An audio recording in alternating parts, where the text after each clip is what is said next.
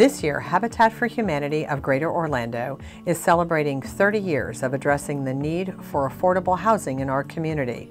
It began when Walter Farr, a realtor, community advocate, and visionary, recognized the need for housing. He gathered a group of dedicated volunteers who founded Habitat for Humanity of Greater Orlando. Lou Fallon was one of those volunteers, and he recalls when it all began. It's, it's unreal to me how far they've gone because when I started out, we didn't know whether we'd have enough money for nails, and never mind uh, material. And here we are today. We're building uh, three and four and five homes a month, which that was our, at one time our yearly goal. And now we're doing it in a month. So, I mean, we've come so far, and the, the credit is to all of the people in the offices and all of the volunteers. By the late 1980s and early 90s, the Habitat vision was beginning to grow.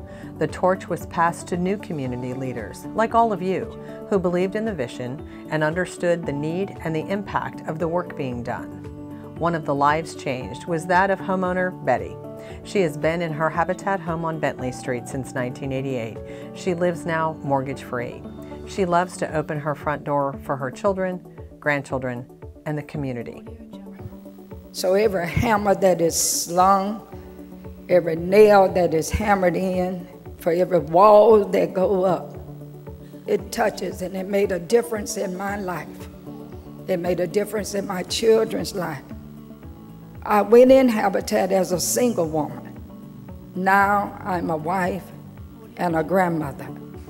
And it is one of the most vivid blessings that I've ever had in my life.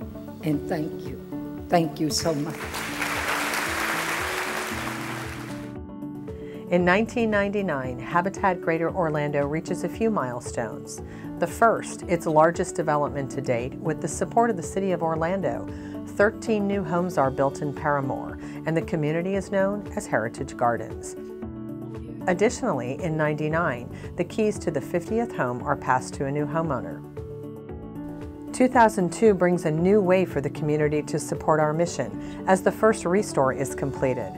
The retail outlet offers used household goods, and it's another way for future homeowners to earn sweat equity volunteer time. By 2003, the mission is in full stride. As home number 100 is complete, it is one of 10 in the city's Washington Shores area.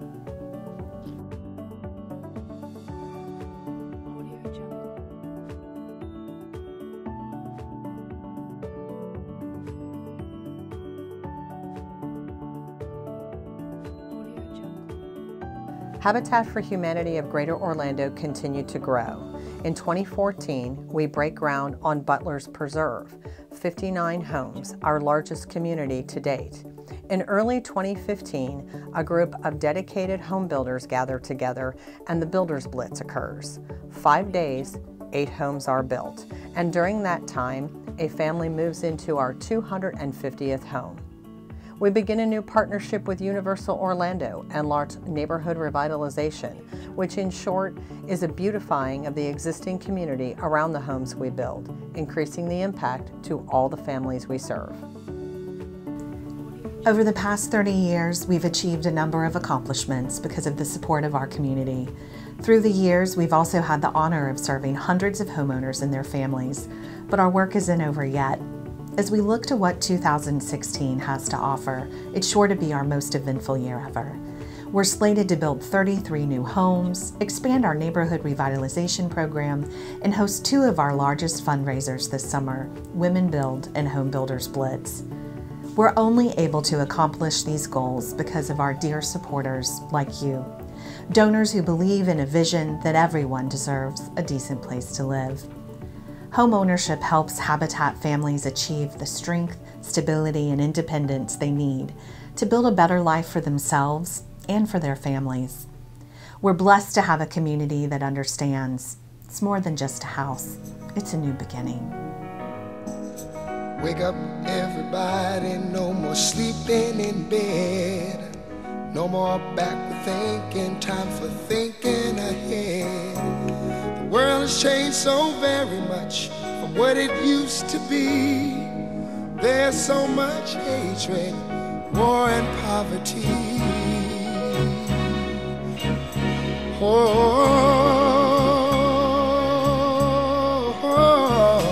wake up all the builders, time to build a new land.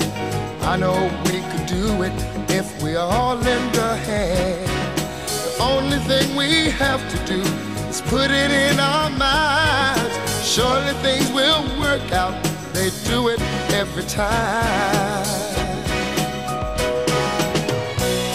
The world won't get no better if we just let it be.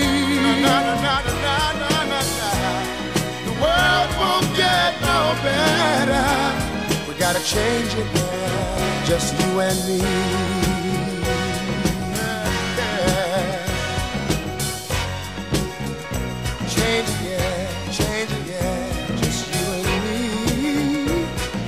Change yeah, change it. Can't do it alone, can't do it alone. Need some help, y'all,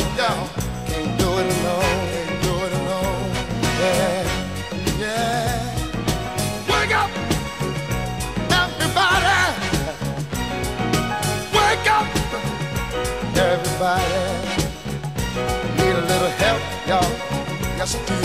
Need a little help. Say it, boy. Need some